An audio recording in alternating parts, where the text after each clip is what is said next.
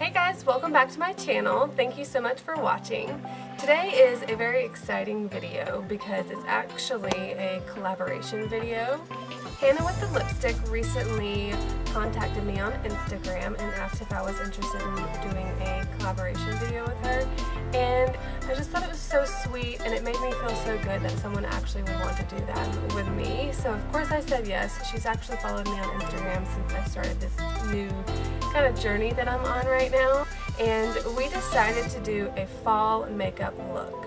I have brown eyes, so I'm going to be doing a fall makeup look for brown eyes, and she has beautiful blue-green eyes, so she's going to be doing a video for blue-green eyes. All her info will be listed down below in the bottom bar, and if you are interested in how I got this makeup look for brown eyes for the fall, go ahead and keep watching, and if you have blue or green eyes, and you're interested in how to get a fall makeup look for those, go ahead and link the link down below.